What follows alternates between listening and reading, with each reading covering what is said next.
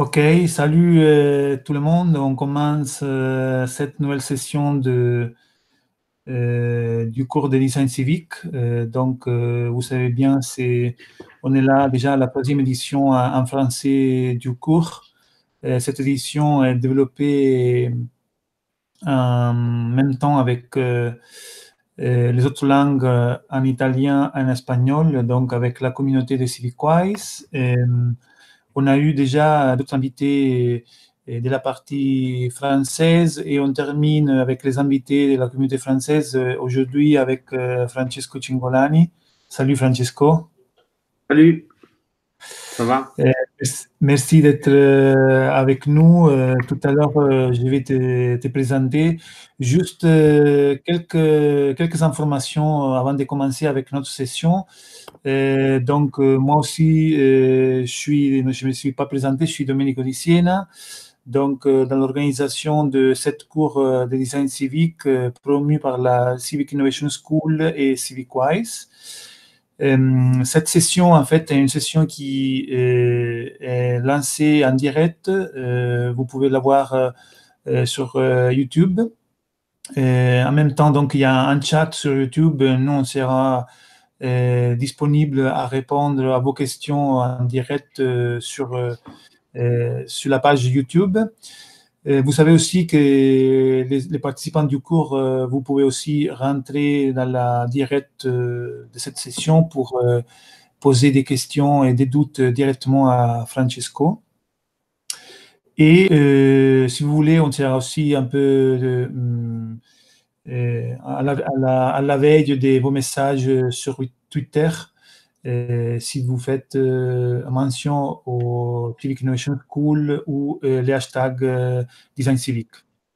Voilà, donc ça c'est pour le, début des, des, sessions, pour avoir un peu des, des repères pour commencer. Donc aujourd'hui, j'ai le grand plaisir d'être avec Francesco. Donc avec Francesco, on se connaît déjà depuis longtemps.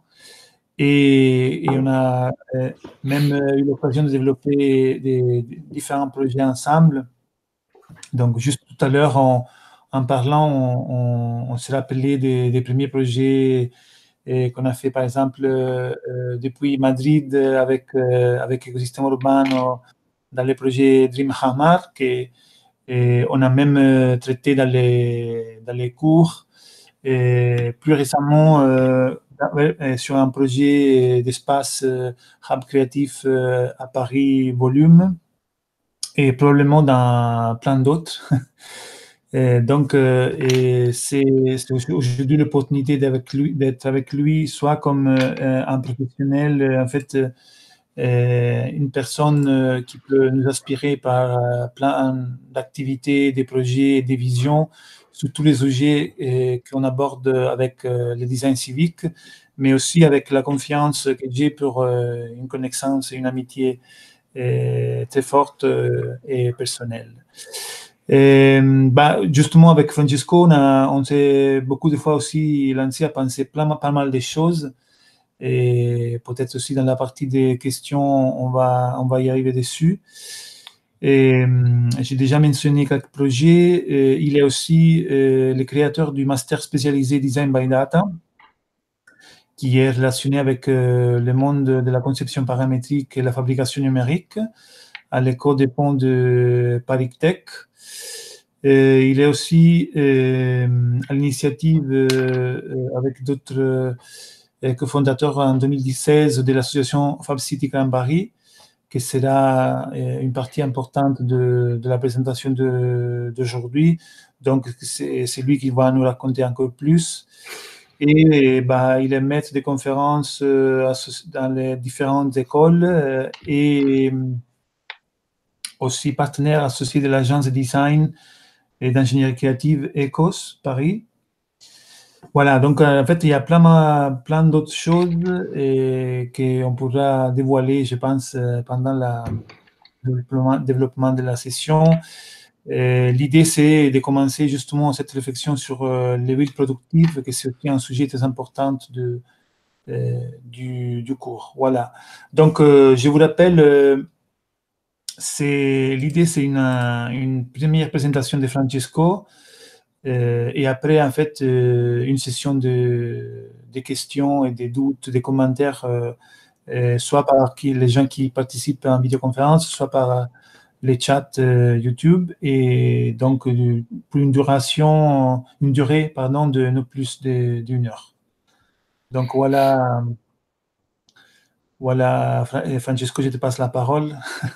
Ok. Euh, merci beaucoup pour, euh, pour cette invitation, Domenico. Et, euh, et du coup, merci aussi pour, pour la présentation. je, je viens de partager mon écran. Est-ce que oui, c'est bien. confirmer? Donc, effectivement, Domenico a pas mal hmm, expliqué le contexte euh, sur lequel je vais essayer de, de, de, vous présenter mes activités, euh, la question de la ville productive dans le cadre de l'initiative que, qui nous anime depuis euh, trois ans maintenant à Paris, mais aussi dans un réseau international de plusieurs villes dans le monde. je vais donc euh, essayer euh, de vous donner, euh, de vous expliquer en fait surtout comment et pourquoi on en est arrivé là en partant de, choses qui pourraient sembler complètement différentes.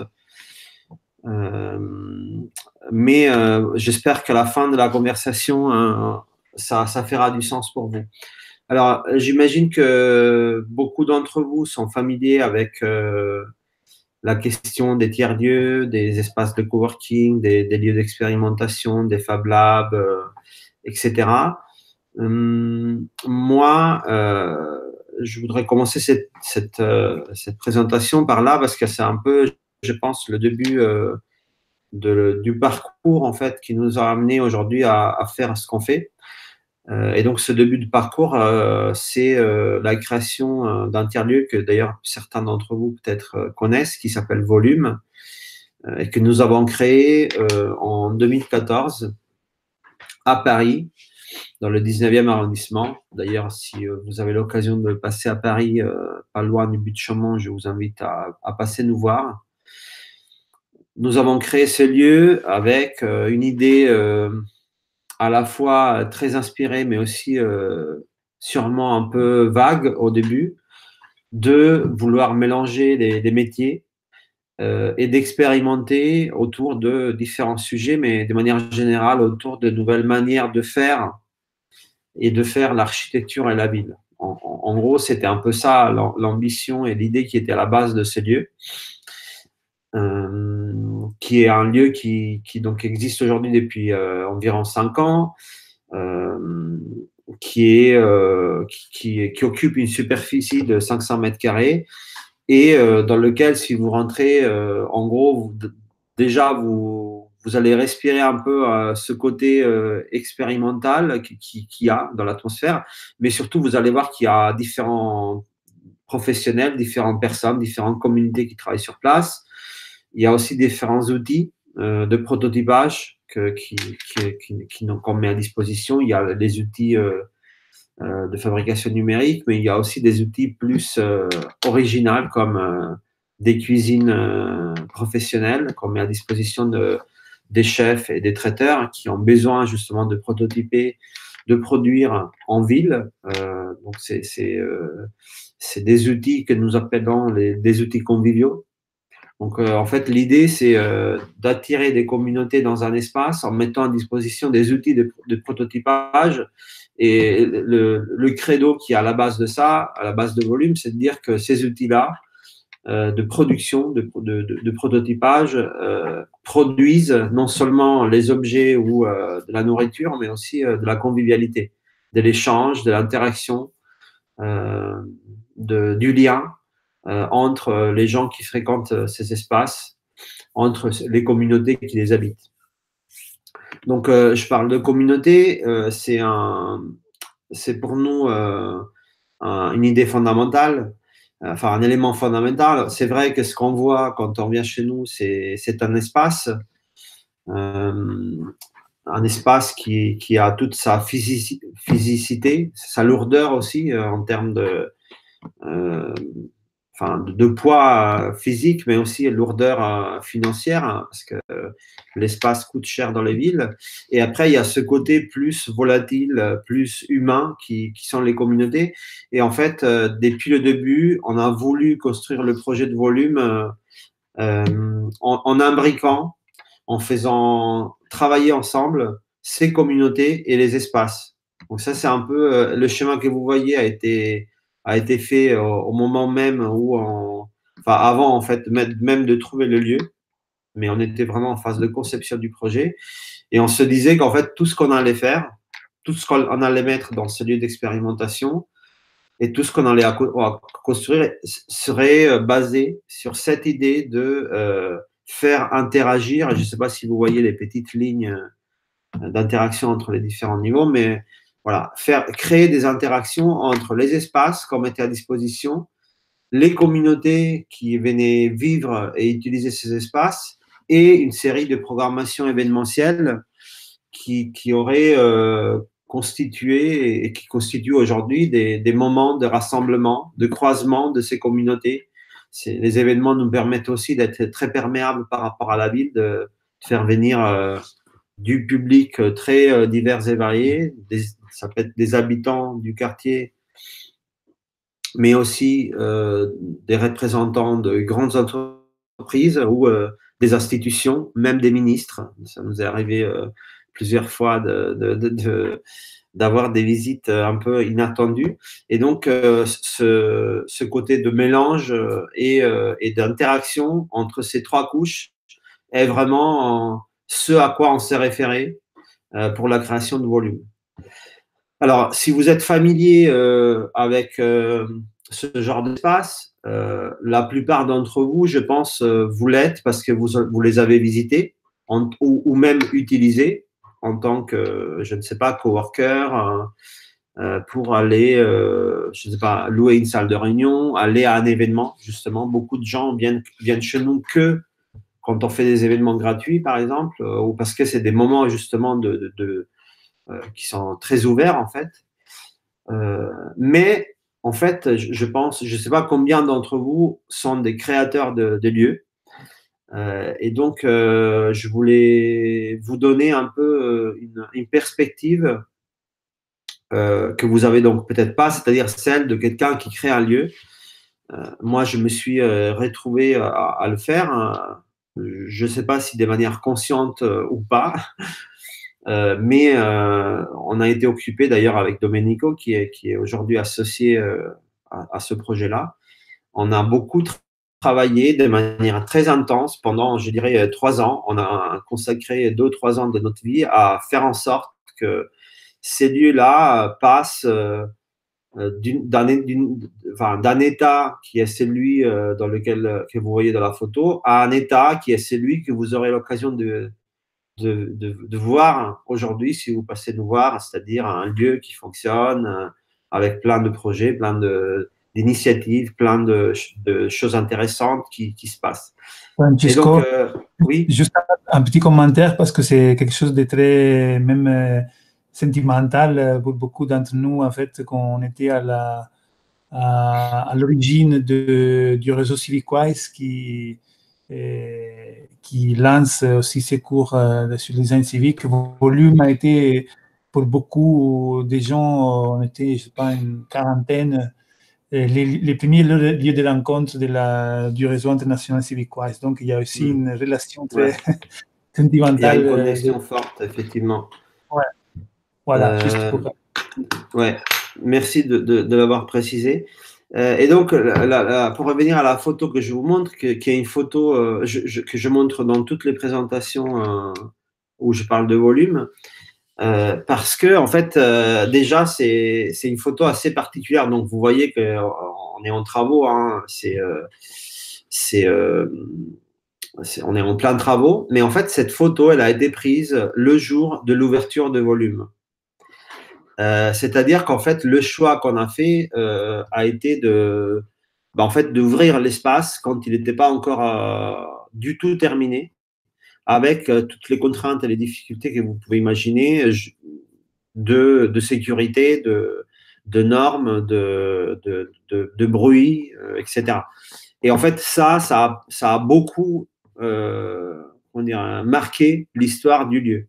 C'est-à-dire que le fait de faire venir des communautés, et ça, bon, je pense que c'est des thématiques que, vous traitez sous, dans le cours, hein, on pourra en discuter après, mais voilà, c'est un peu le, le, comment dire, une conviction hein, qu'on avait euh, bien avant de volume, c'est-à-dire on, ne livre pas un espace, on n'est pas en train de faire de l'architecture euh, euh, programmée, pré-programmée, on fait une architecture vivante qui s'informe et qui, qui se déforme même avec, avec les communautés qui, pré, sont déjà là en fait. Voilà, on pourra revenir sur ce point si besoin s'il y a des questions.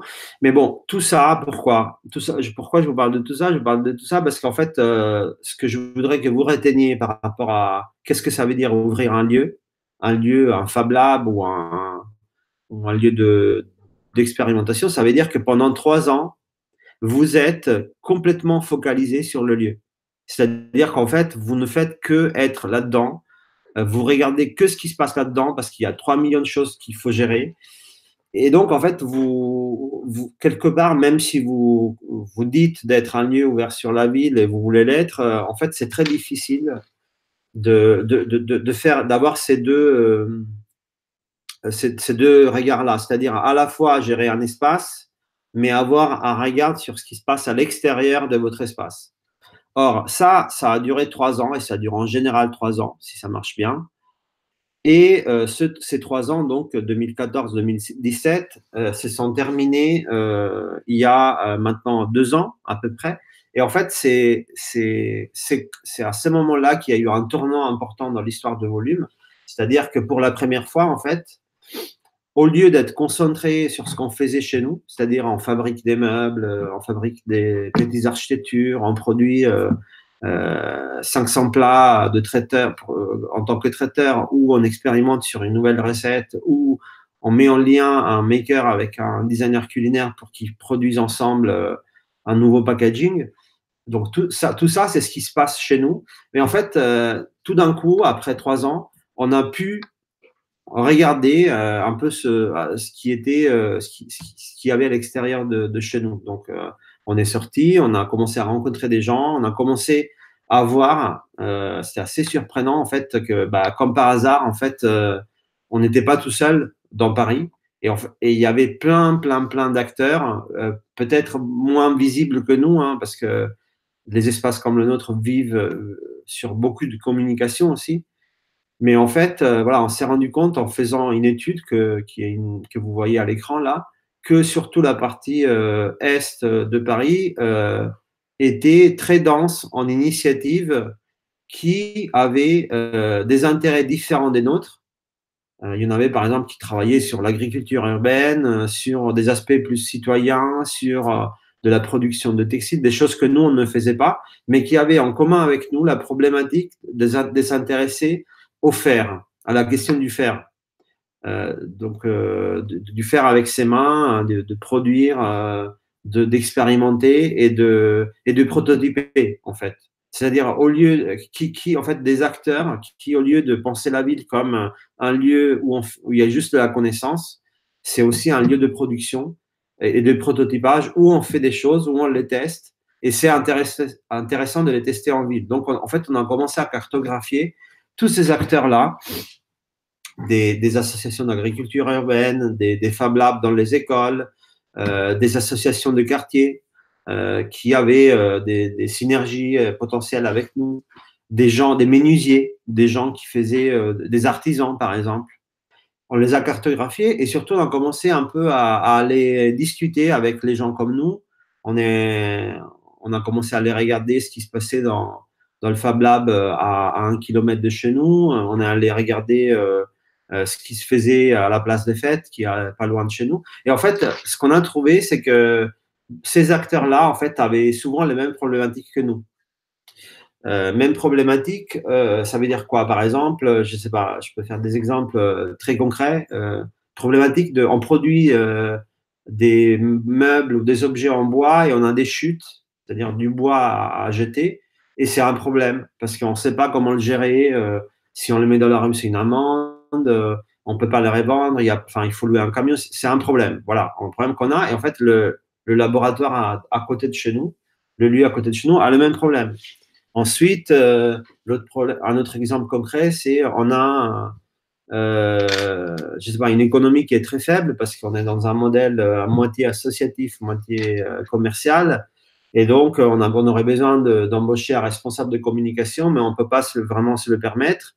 Et bah, à côté, on a rencontré des gens qui avaient le même problème que nous. Et, tout d'un coup, en fait, on s'est dit, mais en fait, il faut qu'on fasse un syndicat.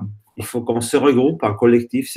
On utilisait le mot syndicat qui n'était pas très cool, hein, enfin très trendy.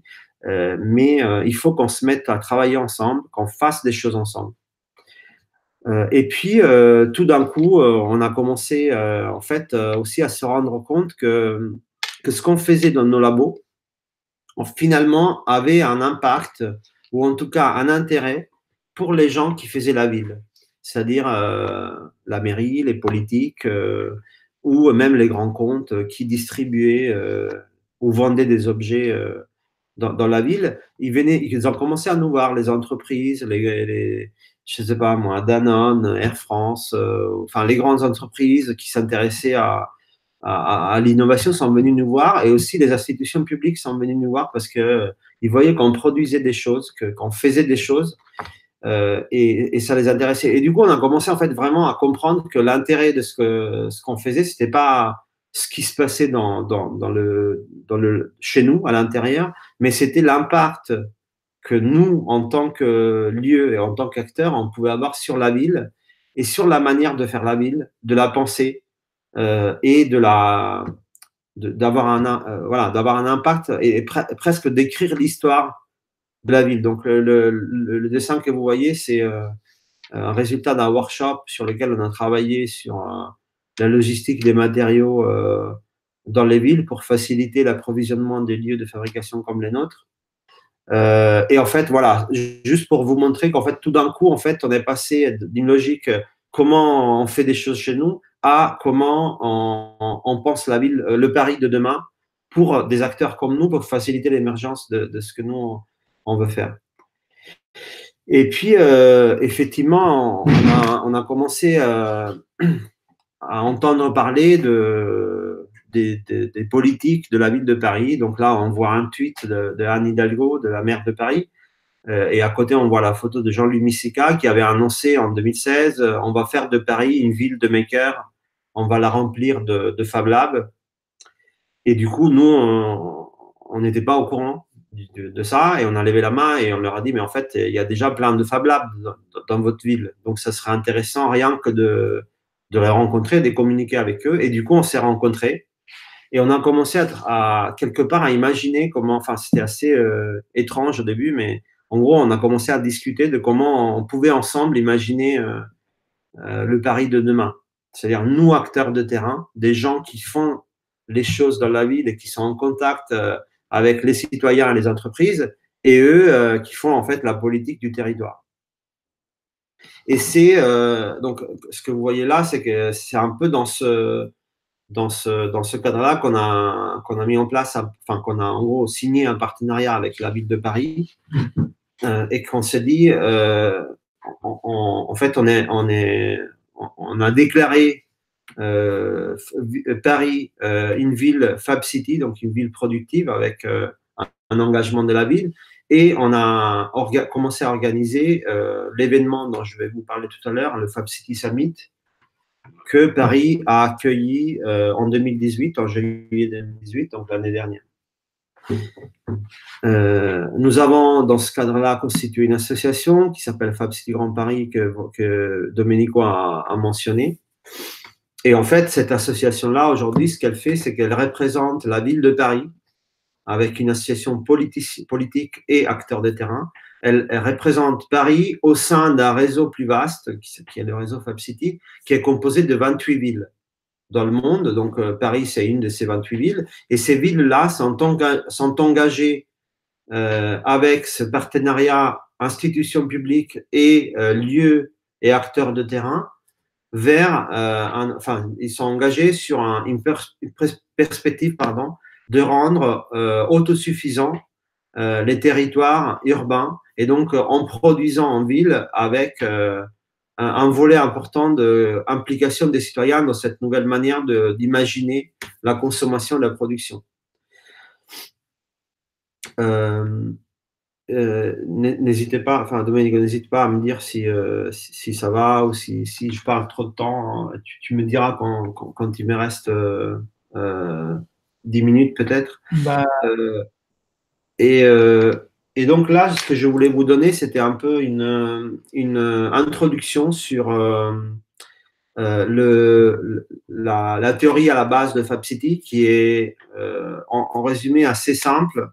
En fait, si vous voyez ces schémas-là, FabCity, ce que, ce que propose, c'est euh, de, faire la transition euh, d'un modèle, euh, celui que vous voyez à votre gauche, le PITO, donc Product In, Trash Out, qui est le modèle de, des villes d'aujourd'hui. C'est-à-dire aujourd'hui, la ville, en fait, c'est, si vous y, si vous y pensez, un, un objet qui reçoit des produits il les consomme et, en fait, la ville, en sortie, elle éjecte des, des, déchets. Donc, en fait, il y a des produits qui arrivent. La plupart d'entre eux, ils arrivent de loin, de l'autre bout de la planète même. Euh, ils sont consommés dans la ville et la ville rejette des déchets qu'il faut ensuite gérer euh, et traiter. Et donc, le modèle qui est proposé par FabCity, c'est de dire euh, on ne va plus faire voyager la matière, on va, on va au, maximum produire à côté de là où on consomme. Donc, il y a ce rapprochement du lieu de production avec le lieu de consommation. Et on va, on va ainsi travailler sur des circuits courts, mais tout en gardant une connexion forte euh, avec euh, les systèmes de communication euh, numérique entre les villes. Donc c'est ça, c'est là la signification la puissance du réseau. C'est-à-dire qu'en fait, c'est une sorte de plateforme collaborative pour les villes qui peuvent échanger des savoir-faire, des projets et, et, des, et, des, bonnes pratiques. Donc en gros, aujourd'hui, dans le réseau, ce qui, ce qui se passe, c'est qu'il peut y avoir un projet qui est prototypé à Barcelone et développé à Paris et ensuite déployé ou copié à Boston. Et, en fait, nous, on, a mis en place cette plateforme-là de, communication et d'échange euh, que je pourrais détailler comment elle fonctionne euh, si, vous, si vous le souhaitez. Euh, et, donc, en faisant ça, on, s'attaque un peu, enfin, on doit s'attaquer évidemment à, un peu à tous les domaines de la ville, c'est-à-dire les outils, les, lieux de fabrication comme les tiers-lieux, la question de l'énergie, comment on produit en ville, la question de l'architecture, quels sont les modèles d'architecture pour la Fab City, euh, l'économie circulaire, la logistique urbaine, les flux, l'agriculture, etc. Donc en fait, c'est vraiment une, approche multithématique et, holistique de la ville. Et, euh, et pour, euh, pour, terminer sur les, fondements théoriques de, de, la Fab City, euh, encore une fois, je reviens sur cette euh, idée qui était propre à l'ADN du lieu de volume que nous avions créé et qui se, qui se reflète dans l'approche euh, qu'on a pour euh, la démarche FabCity, c'est de dire que si on veut travailler à, avoir des impacts forts, c'est-à-dire euh, nous, notre objectif, c'est de définir la vision de ce que c'est Paris dans dix ans. On ne peut pas, nous, travailler de manière activiste et isolée. Il faut qu'on travaille avec à la fois des institutions, c'est-à-dire les institutions comme la ville et la région, qui, elles, elles font la ville, elles sont décisionnaires, et les grands comptes, donc des partenaires privés, qui ont des intérêts euh, autres que les nôtres, mais qui sont fondamentaux, fondamentaux pour, avoir, si on veut, euh, si on souhaite avoir de l'impact. Donc ça, c'est un peu pour dire euh, le, fondement théorique de, enfin, l'assise théorique de, Fab City, euh, qui, euh, a, qui a été aussi un peu à la base de la conception de l'événement, peut-être que vous avez, auquel vous avez participé, donc en juillet 2018, qui vient après une histoire de plusieurs milestones donc euh, moment clé dans l'histoire du mouvement Fab City, qui a été euh, l'idée à germer en 2011 à Lima, elle a été officiellement lancée à Barcelone en 2014. Il y a eu un premier Fab City Campus à Amsterdam en 2016 et 2018, c'était la première fois que on, sentait la maturité du mouvement capable de pouvoir s'ouvrir euh, au grand public. Donc l'événement de Fab City Summit à Paris, ça a été vraiment euh, déjà le plus grand événement de, de grandes ampleurs euh, dans l'histoire, mais aussi, enfin dans l'histoire, la petite histoire de, de, Fab City, mais aussi avec une conception spécifique pour le grand public, qui est un sujet que je pense vous intéresse. C'est-à-dire qu'on s'est posé la question de comment expliquer Fab City Summit euh, aux enfants ou euh, aux, dames ou aux familles qui habitent le quartier. Et donc, pour, pour comment, comment, comment on, a fait ça? Évidemment, il y a eu une partie qui était un peu plus conférence, la partie traditionnelle pour les professionnels plutôt, donc pas pour les familles du quartier. qui a duré trois jours, avec une partie à l'hôtel des villes de la mairie. Donc, en fait, euh, c'était assez euh, surprenant de, voir dans, dans l'hôtel de ville euh, de, Paris ce mélange de makers, politiciens, hommes politiques, hommes et femmes politiques, et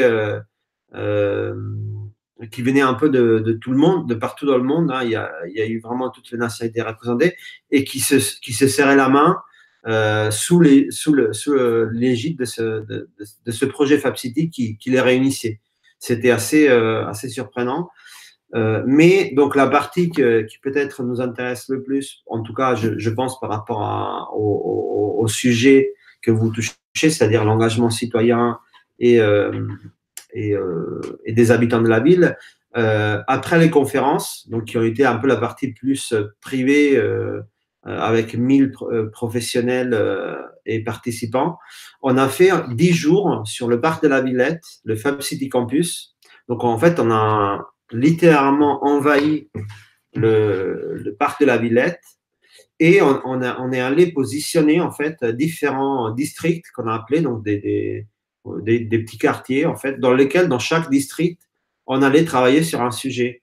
il y avait un district qui était sur la question de l'énergie, un autre qui était sur le remploi du bois, un autre qui était sur l'architecture, le plastique, euh, le textile, l'électronique, etc. Et en fait, euh, c'était, euh, il y a eu plus de 200 ateliers hein, pendant, ces 10 jours, ouverts au public, pour la plupart gratuits, avec une participation assez hétéroclite, vraiment. des, jeunes, des, vieux, des enfants, des familles entières, etc et euh, qui, qui, nous a permis de, de bah, tester les concepts, de rentrer en contact avec les habitants déjà. Euh, C'était pas toujours facile, mais, euh, mais je pense que on a, on a tenu le, le pari. Et surtout, en fait, aujourd'hui, ces districts, en partie, certains d'entre eux, sont devenus des projets. C'est-à-dire que l'événement a été vraiment l'occasion, en fait, de, de, faire des prototypes, euh, de tester des concepts sur un, un, espace public, en fait, le, le parc de la Villette et aujourd'hui, il y en a un certain, comme celui euh, de l'agriculture, le Food Commons ou le, le Fab City Store, hein, que, donc, dont je vais vous parler un peu après, euh, qui, euh, qui sont devenus des groupes de travail des projets financés et qui donc continuent d'exister. Donc là-dessus, c'était une grosse réussite parce que justement, notre envie, c'était pas on fait un événement et puis c'est fini. L'idée, c'était en fait un, événement pour lancer une dynamique avec l'objectif de, redéfinir euh, les prochains dix ans du développement territorial de Paris, euh, qui était, assez ambitieux. Et donc là, je fais la transition pour vous parler un peu de quelles sont, suite à ce summit qui a eu lieu du coup il, y a, six mois, euh, huit mois peut-être, quels sont aujourd'hui les projets en cours qui nous animent au sein de l'écosystème parisien. Alors, le premier, euh, c'est euh, le, projet que nous appelons prototype territorial, c'est-à-dire euh, on est en train de lancer une dynamique qui vise à tester sur un, petit territoire parisien. Donc, celui que vous voyez là, c'est le, territoire du 19e arrondissement autour du, canal de si, si vous le connaissez pour tester comment, euh, dans, dans, la pratique, on peut vraiment créer des boucles de production entre les différents acteurs et les mettre en lien, les faire travailler ensemble sur des cas concrets. Et donc, quel est le, le, cas concret comment, comment on a mis en place ce, travail-là de tester sur un, petit territoire la démarche FabCity En fait, on a, proposé un projet qui s'appelle Reflow, un, appel à projet H2020, euh, Horizon 2020, qui est, un programme de recherche et d'innovation de l'Union européenne, vous le connaissez peut-être. Et on a remporté euh, ce, ce financement-là euh, pour le, donc le, projet Reflow. C'est ce qu'aujourd'hui fait, euh, va financer, en fait, ça va commencer dans deux mois, va financer trois ans d'expérimentation pour mettre en place ce prototype territorial de la Fab City sur Paris. Et donc, en, en, gros, en, en, quoi ça va consister? On a déjà commencé, même si les financements, enfin, si le projet officiellement commence en deux mois, on a récupéré euh, un, un, hangar que vous voyez en photo euh, pas loin du stade Saint-Denis, euh, à côté du canal.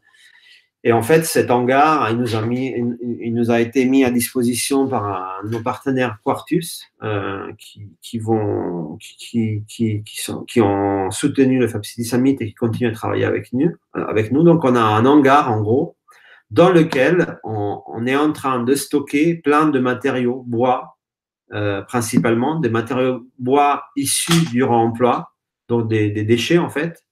Et pour l'instant, ce qu'on fait, on est en train juste, je, souligne le juste, de les stocker là-dedans. Et c'est très important. La question du stockage, euh, on s'est rendu compte qu'elle est centrale parce qu'en fait, euh, c'est un peu comme ce que j'ai dit tout à l'heure pour les communautés et les lieux. On ne peut pas créer une communauté s'il n'y a pas de lieu. Bah, difficilement on peut travailler sur les déchets si on n'arrive pas à les stocker quelque part. Euh, et donc, pourquoi on veut les stocker? Parce que on les stocke et ensuite on crée des bases de données. Euh, c'est ce qu'on on va commencer à faire euh, là avec le projet. En fait, ce ces matériaux-là qui, qui sont aujourd'hui rangés dans ce hangar vont être transformés en base de données. Et donc, une fois qu'on a une base de données, on va pouvoir faire travailler des architectes, des designers, des entreprises euh, et des makers avec cette base de données pour pouvoir en sortir des produits qui pourront être du mobilier, euh, des, éléments de façade euh, et euh, des petites architectures, des petits pavillons, et aussi définir des, des services, donc des, services associés à ça. C'est-à-dire comment on, assiste les grandes entreprises, par exemple, dans le, dans, dans, un, changement en fait de, d'approche, de, se dire les déchets ne sont pas des. Enfin, en fait, on peut faire des choses avec des déchets, mais on doit un peu changer nos process pour pouvoir les récupérer, les réemployer, etc. Donc, en gros, euh, celui-là qu'on a, qui fonctionne déjà, que vous pouvez aller voir, qui s'appelle Restore, qui a un tiers-lieu aussi, euh, euh, qui est porté par l'association WOMA, qui, qui fait partie de notre écosystème.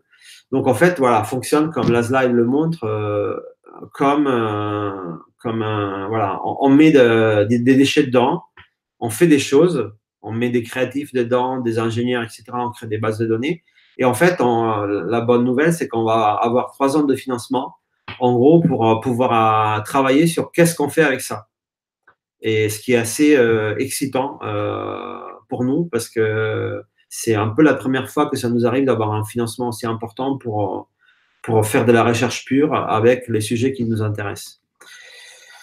Euh, et ensuite, le Fab City Store, c'est une initiative aussi qui est née pendant le summit et qui continue. C'est un, un pop-up store, donc un magasin euh, de créateurs parisiens, donc des, des, des designers qui fabriquent euh, dans Paris ou, ou, pas loin, et le Fab City Store, c'est non seulement un outil de, de, vitrine et de vente de leurs objets, mais aussi un système d'accompagnement pour créer des modèles économiques rentables qui ne sont pas faciles pour les makers. Hein. Je ne sais pas si vous connaissez un peu, mais euh, l'artisanat et les makers, c'est des modèles assez, faibles. Donc l'idée, c'est de les accompagner avec euh, euh, du conseil, de la mise à disposition à un prix privilégié de, de, de fabrication, d'espace, etc. Et là-dessus, on travaille notamment en lien avec les services aussi de la mairie de Paris.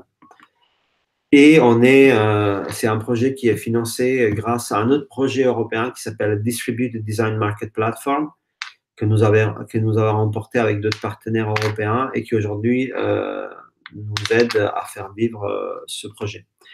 Ensuite, concernant l'agriculture urbaine et le Food Lab, je ne peux pas trop vous en dire parce que, enfin, en fait, c'est un projet euh, qui est pour l'instant confidentiel, mais euh, en gros, on est, on est en, train de travailler euh, avec le réseau européen FabCity et la mairie de Paris pour installer sur le territoire parisien plusieurs Food Labs, donc plusieurs laboratoires de cuisine populaires et professionnels et pouvoir faire de ces lieux-là des, lieux à la fois civiques, euh, de production et de transmission du savoir agricole et culinaire. Euh, donc j'espère euh, que, enfin, je pourrais éventuellement vous en dire un peu plus dans quelques jours, mais là, j'ai pas beaucoup plus d'éléments à, pouvoir partager là-dessus. Mais en tout cas, ce qu'il faudrait dire, c'est que la, cuisine, l'agriculture, l'alimentation est un élément vraiment très chaud en ce moment, très central dans toutes les préoccupations à la fois des institutions, des privés euh, et aussi des nôtres de acteurs de terrain. Et ensuite, un projet euh, qui me concerne un peu plus directement en ce moment, parce que je sais, on est vraiment dans le, dans le feu de l'action aussi euh, avec Domenico qui m'accompagne là-dessus. le Fab City Research Lab, on réfléchit dans trois villes actuellement du réseau, donc Londres, Barcelone et Paris, euh, à créer des lieux euh, d'innovation, euh, de recherche et formation sur les, les questions de la Fab City, l'approche Fab City à la ville pour résoudre les problèmes de la ville de demain. Et donc aujourd'hui, on travaille sur de la préfiguration de ces espaces, à quoi ça ressemble ce Fab City Research Lab, qu'est-ce que doit mettre à disposition? On, travaille sur plusieurs on étudie l'installation sur plusieurs sites euh, dans Paris, dont un qui est vraiment pas loin de, volume. Et à la fois, euh, on, est en train de structurer euh, comment on peut mettre en place un, centre qui n'est pas, qui se distingue un peu des centres de recherche classiques ou académiques traditionnels pour deux raisons.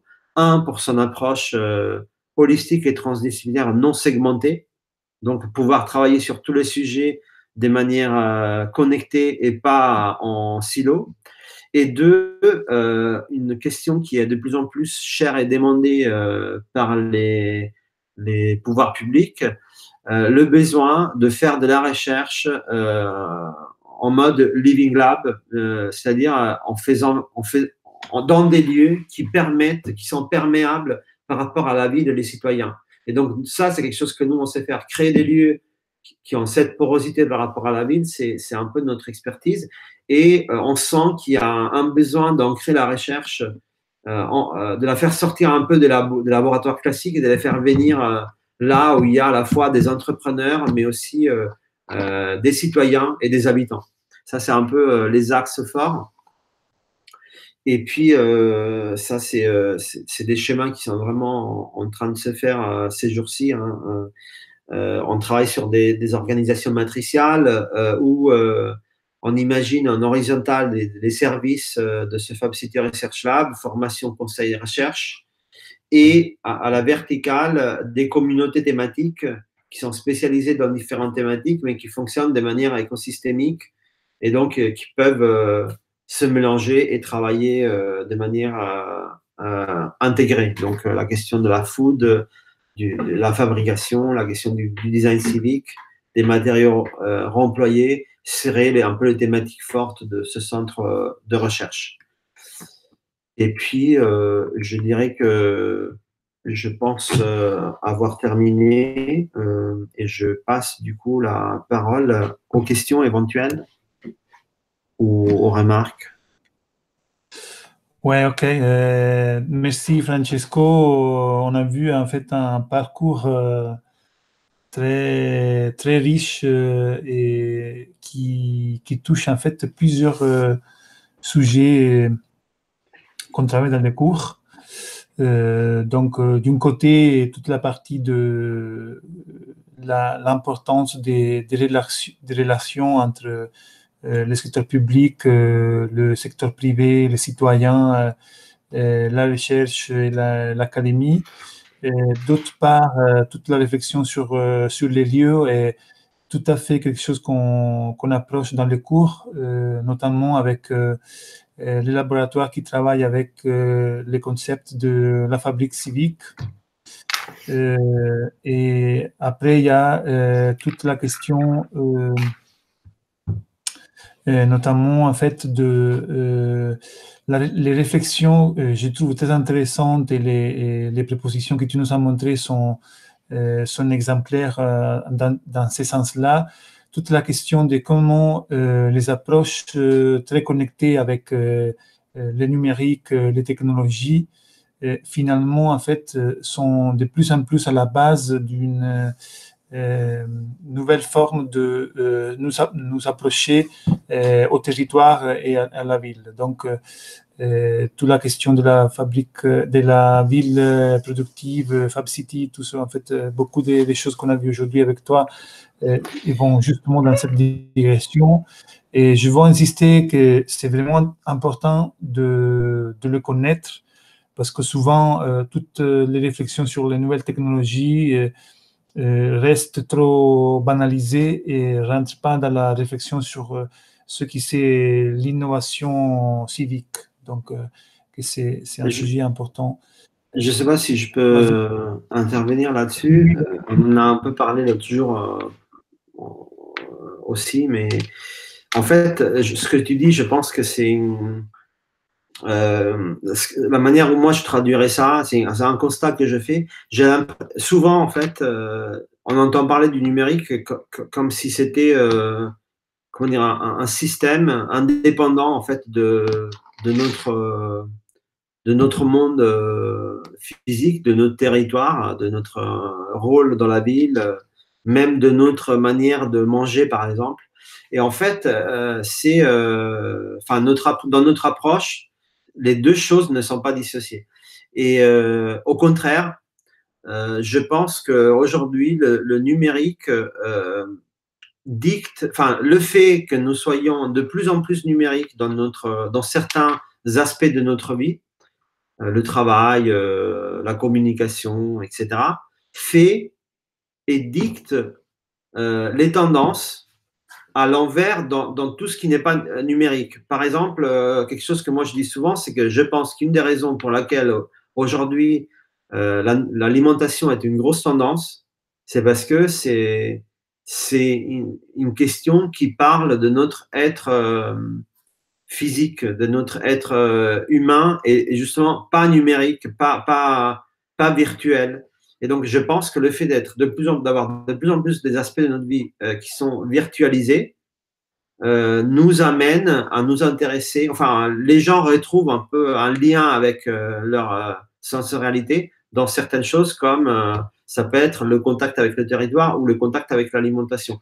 Et finalement, quand je dis ça, je me rends compte qu'en fait, on raconte la même histoire depuis euh, depuis dix ans. Euh, je sais pas, Dominique, tu dis en 2009, euh, il me semble que c'était 2009, on, parlait de, dans un colloque de espace hybride intégré, donc avec une couche physique et une couche numérique. Et ben aujourd'hui, je pense que ce qu'on fait, c'est un peu, la, enfin, ce qu'on raconte, c'est un peu la même histoire, qui est peut-être un peu plus élaborée, mais finalement, on doit considérer, dans notre travail, on considère très intégré ces deux couches euh, de notre euh, existence, de notre territoire, de, notre, de nos projets, de nos espaces aussi. Oui, justement, euh, je trouve que c'est des réflexions qu'on devrait avoir, avoir, de plus en plus sur les approches du design civique aussi. J'insiste là-dessus parce que c'est toujours une opportunité à chaque fois qu'on écoute nos invités de nous approcher à comprendre mieux qu'est-ce qu'on considère euh, design civique? Parce que, comme on, disait, c'est une, conception ouverte. Euh, donc, dedans, on, pourrait y trouver plusieurs, euh, plusieurs approches. Euh, justement, je, je, je, je rappelle, je vois qu'il y a toujours des gens en ligne, mais n'osent pas faire des questions. Donc, je rappelle qu'on est là encore 10 minutes euh, pour euh, discuter et faire des questions. en tout temps, je continue avec des réflexions et des questions. justement, non, je disais, il y, a, une question que, que, qui est essentielle et que ça m'intéresse beaucoup, c'est toute la question des lieux, mais aussi en fait de, un peu plus en général de les lieux de rencontre. Euh, je pense qu'on est à un moment très intéressant euh, où euh, c'est devenu presque, on en parlait juste l'autre jour aussi, presque mainstream, toute la réflexion sur l'importance des, espaces publics. Donc c'est très intéressant comme un discours que peut-être, juste comme référence, peut-être on peut faire remonter à des choses qui, Jane Jacobs disait dans les années 70 et c'est devenu maintenant quelque chose de très présent. Même, euh, euh, j'ai assisté même à des présentations des grandes marques euh, qui parlaient de l'importance d'être promoteur de, des espaces publics vivants. Donc, pas non plus être les ambassadeurs, envahisseurs, pardon, de, avec la publicité de l'espace public euh, où on cherche seulement du public, mais c'est en compte que c'est important pour eux, euh, même pour continuer à exister, que la ville, ça continue à être un lieu vivant et, en plus euh, pas trop pollué. Donc non, je disais ça, donc c'est intéressant comme il y a eu ce processus et, nous, qu'on travaille dans toutes les approches de développement du, territoire, euh, je pense qu'on doit toujours euh, aller chercher quelles sont en fait euh, les, actions que nous on peut faire tout avant en fait que deviennent des choses très appropriées et très entendibles pour tout le monde. Donc ça c'est intéressant parce que même sinon on on insiste beaucoup sur le fait qu'on accompagne les acteurs locaux sur le développement des territoires. C'est important aussi de rentrer à la compréhension de dynamiques d'expérimentation qui nous préfigurent quelque chose qui va passer. Donc, après toutes ces, préambules, euh, justement pour dire que après les, espaces publics, il y, a, il y, a, un lieu de travail et d'impact essentiel que c'est euh, toute la question de l'activation des nouveaux des tiers lieux ou nouveaux lieux des rencontres, des créations euh, collectives. Notamment, tu faisais aussi référence euh, à tous les, potentiels qu'il y a, même les, questions, les questions alimentaires euh, et tout ça. Donc, ma question, c'est en fait de après en fait tous les parcours que tu nous as racontés, toutes les, étapes en fait que tu as vécues personnellement sur qui carrément ils ont, ils ont une relation très forte avec des visions que peut-être tu, tu avais déjà il y a dix ans au, plus. En fait, que, les, difficultés, euh, les majeures difficultés que tu vois, parce que tu m'aimes parler justement de la nécessité d'être trois ans sur un projet. Euh, donc, euh, quelles seront, à, ton avis, les majeures difficultés pour euh, activer des, des lieux euh, où on a la capacité d'inclure euh, plusieurs acteurs locaux et les publics, les privés, la citoyenneté, donc en viste, tu sais, par rapport à tout ce que tu as vécu. Et quel, quel, quel serait quel serait euh, euh, sur ça en fait euh, un conseil, une réflexion utile pour des designers qui veulent s'approcher à faire partie d'un peu Tu veux dire que si je comprends bien, c'est en gros quelqu'un veut ouvrir un lieu aujourd'hui, qu'est-ce que je, c'est quoi mon mes conseils? C'est un peu ça si... Oui, en fait, c'est ça dans, euh, à partir de l'expérience directe de l'avoir fait, mais c'est aussi ça dans le sens de, en fait, un peu des conseils euh, de quelqu'un des professionnels qui travaille ou qui accompagne ces projets-là. Donc, tu l'as vécu beaucoup dans les deux sens. Ouais, ouais, ouais. ok. Alors, euh, alors, déjà, je ne sais pas répondre, mais ce que je peux dire, c'est que environ toutes les personnes que je connais qui ont, qui ont monté un tiers-lieu euh, euh, vous diront qu'ils n'ont pas envie d'en monter un autre. Ça, c'est déjà une chose. Donc, c'est parce que c'est voilà, très demandant. En tout cas, si on le fait un peu comme on l'a fait nous, c'est-à-dire un peu au début, quand on ne savait pas trop ce que c'était ce lieu-là. Aujourd'hui, la situation est un tout petit peu différente, c'est-à-dire que faire un tiers-lieu, euh, c'est plutôt cadré. Euh, il va y avoir aussi bientôt des, gros financements en France euh, qui vont s'activer. Hein. Je ne sais pas si vous avez entendu parler de cette étude sur, sur les tiers-lieux. Mais voilà, déjà, donc ça en, introduction. Ensuite, je pense que ce qui est hyper important, c'est d'avoir avant de lancer le projet un germe de des communautés. C'est-à-dire, on on peut pas ouvrir un lieu comme ça et puis on, verra. En fait, donc par exemple, moi, ce que j'avais fait, c'était que déjà, j'avais un peu, comment dire, travaillé dans des environnements qui m'ont beaucoup appris. Tu as mentionné, il me semble, tout à l'heure, le projet Dreamhammer. En gros, euh, moi, c'est à Dreamhammer que j'ai compris comment il fallait faire à volume, quoi. C'est parce que c'était un c'était un projet complètement différent, un projet de, bon, de, de, participation citoyenne sur une conception d'espace public. Mais en fait, notre approche et notre méthodologie étaient très similaires. Donc déjà, à faire une première expérience. Deuxièmement, presque tous les lieux de succès que je connais ont commencé avec un prototype. C'est-à-dire, euh, avant d'ouvrir euh, un 500 mètres carrés et faire les choses proprement, ils ont euh, soit loué euh, soit euh, un espace, euh, sous-louer un espace ou trouver un arrangement dans un petit espace pour pouvoir commencer en fait à faire à créer la dynamique. Ça, c'est une autre chose. Et après, quelque chose qui peut sembler banal, c'est d'abandonner le perfectionnisme.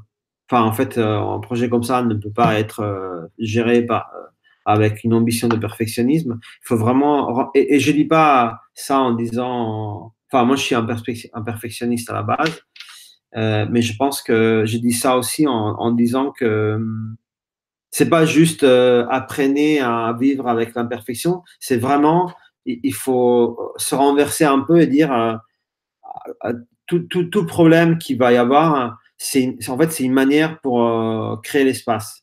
Euh, pour, pour, engager des personnes, pour, pour faire participer quelqu'un. Et donc, je pense que c'est ça un peu la, la, transition, enfin, la, euh, l'approche qu'il faut avoir. Et après, bon, ça, je ne sais pas si ça s'applique aux gens qui nous, qui nous écoutent.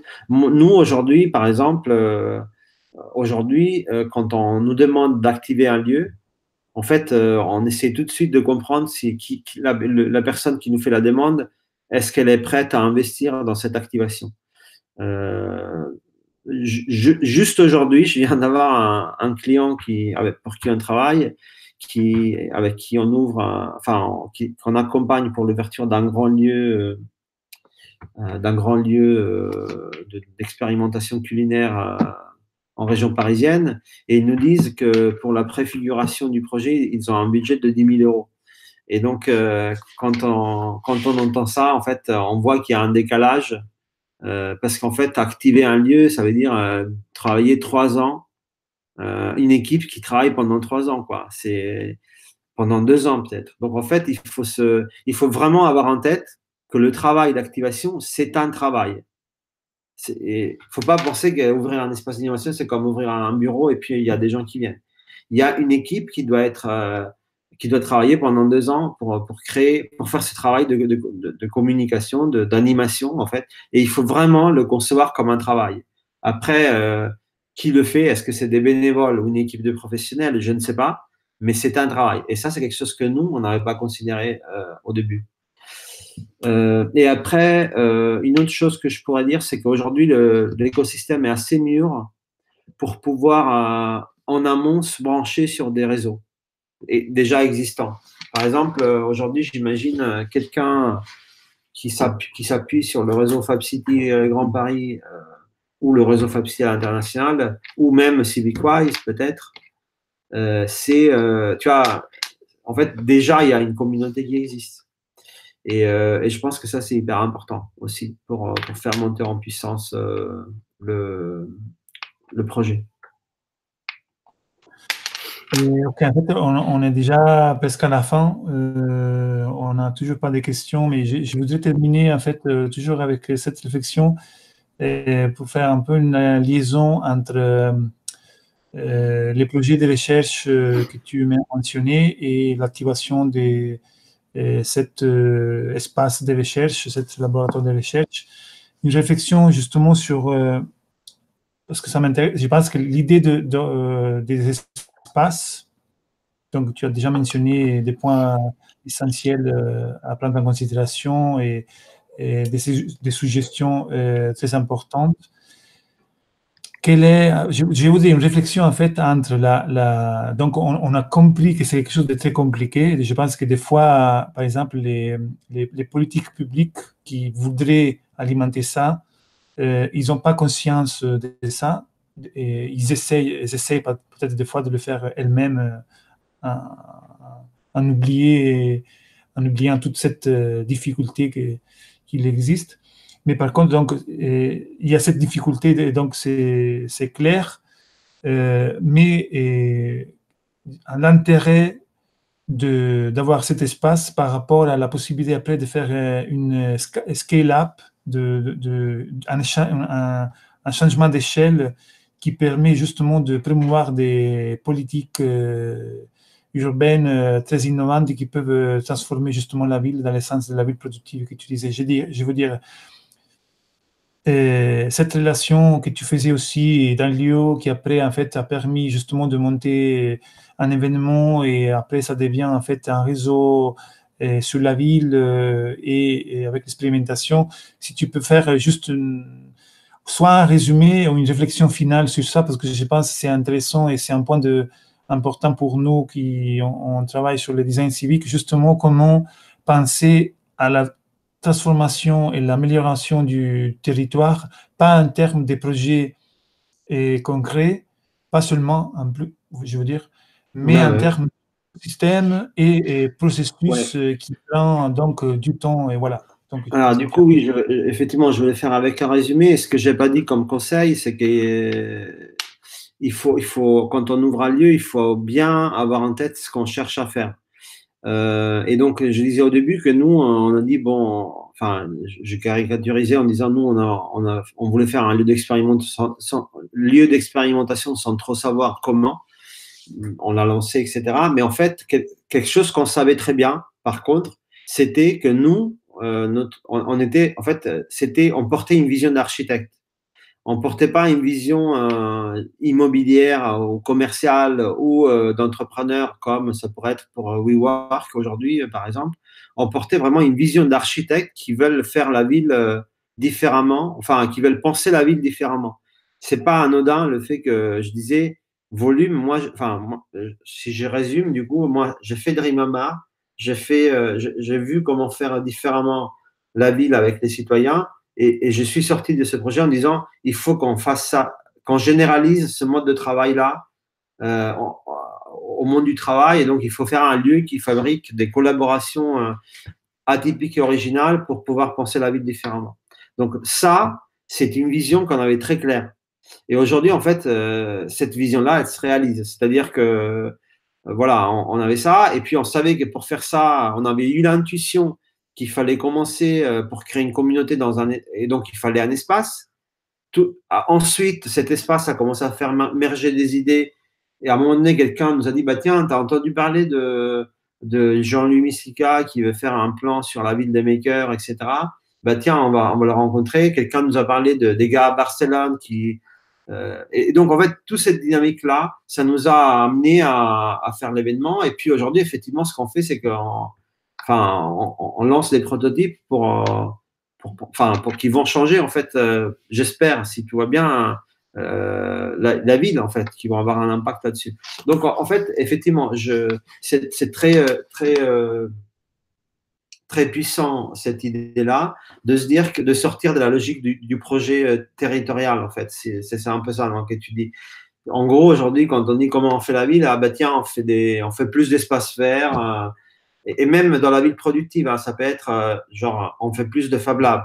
Mais en fait, c'est pas. Donc nous, ce qu'on a dit, c'est on fait pas plus de Fab Lab. C'est allons discuter et faisant. Et en fait, quelque part, dépensant de l'argent, enfin investissant pour créer euh, des collaborations. Et en gros, c'est un peu ce qu'on a fait avec l'événement. Enfin, l'événement, en fait, c'est un événement. Moi, j'ai jamais fait d'événementiel avant et je ne ferai plus d'événementiel après cet événement-là. Mais en fait, c'est en gros la manière où je le vois, c'est tu fais un gros feu d'artifice, tu mets plein d'argent dedans et ça, ça crée une dynamique qui fait rencontrer les gens. Tu vois, et si l'événement a du succès, ces gens-là vont commencer à faire des choses ensemble après. Et, euh, et, voilà. Et, donc oui, euh, je pense que le fait de sortir euh, de la logique du projet, c'est c'est une idée très puissante que je vais que je vais t'emprunter pour la suite et que en fait il faut peut-être plus comment dire hein, soutenir des initiatives qui, qui, nous semblent intéressantes, même si on sait pas. En fait, on peut pas savoir où ça va, ça, va, ça, va mener, mais euh, il faut, sentir quand il y a des dynamiques positives pour la ville. Nous, par exemple, il y a 4 ans, on savait pas qu'on allait travailler euh, sur la notion de ville productive. Ce n'était pas du tout planifié. Et d'ailleurs, cette histoire d'investir dans des, dans des lieux, dans de l'animation, dans de la collaboration, dans la, création de liens, plutôt que dans des projets euh, urbains, euh, c'est un peu aussi exactement ce qui s'est passé sur Dreamama.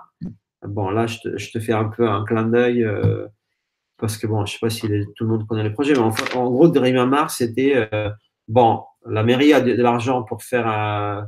Elle, veut revitaliser un centre-ville, elle, va investir de l'argent. Du coup, qu'est-ce qu'ils font? Ils font une œuvre d'art. Et nous, en fait, on leur a dit, bah non, on ne fait pas l'œuvre d'art, on dépense cet argent-là pour créer une dynamique avec les citoyens, on fait venir des gens de l'international, euh, on crée euh, plein de bruit. Et à la sortie de ça, il y aura une place qui est redynamisée. C'est exactement la même chose en fait. Et, je pense que cette notion de déplacer les flux, euh, les budgets ou les flux d'investissement économique, c'est c'est central en fait. C'est une, une, grosse partie du travail qu'on fait. Essayer de déplacer les curseurs des investissements euh, et à la fois quand on parle avec des, des, privés, mais aussi avec des institutions. Pour moi, ça, c'est ce qui fait design, designer civique. Mm-hmm. Parce que nous, nous, on a pas mal de discussions aussi ensemble pour, euh, pour parler de ça, qu'est-ce que c'est le design civique et tout ça? Et je pense que là, tu, as donné un très, bon, très bel exemple euh, de cette approche. Donc, et voilà, je pense que c'est une bonne, euh, belle forme aussi de terminer euh, cette session. Euh, très riche, avec beaucoup de références à des, ça c'est intéressant, à des, projets concrets. On a vu même les difficultés et les relations dans les années de, entre tous ces, projets-là. Et je pense que c'est aussi intéressant de voir euh, même euh, l'implication personnelle de ta part, euh, l'évolution sur ces projets-là, que je pense aussi c'est important. beaucoup de fois, on oublie ça. Et je pense que les, choses personnelles sont, très, importantes. j'ai salué, j'ai fait un coucou aussi. Il y a là Nicolas qui, qui est arrivé. Et donc, je profite pour le saluer. Et je ne sais pas si tu as quelque chose d'autre euh, que tu voudrais dire euh, avant de fermer. Tu n'as pas les micros, les micros ouverts? Excuse-moi. Je disais non, je ne je, vais pas rajouter autre chose. Par contre, euh, je ne sais pas si vous avez l'habitude de partager les, les présentations. oui. oui. Il n'y a pas de problème pour la partager. Et aussi, j'ai deux vidéos qui pourrait euh, vous intéresser et que je n'ai pas utilisé parce que c'est un peu problématique euh, avec le Hangout. Donc, euh, ce qu'on va faire, c'est ouais, on va les partager. On a un drive où on peut partager les, présentations. Donc, on va partager là-bas. Et, Très merci. Bien. Donc, et merci à, vous et à, à bientôt. OK. ciao. ciao.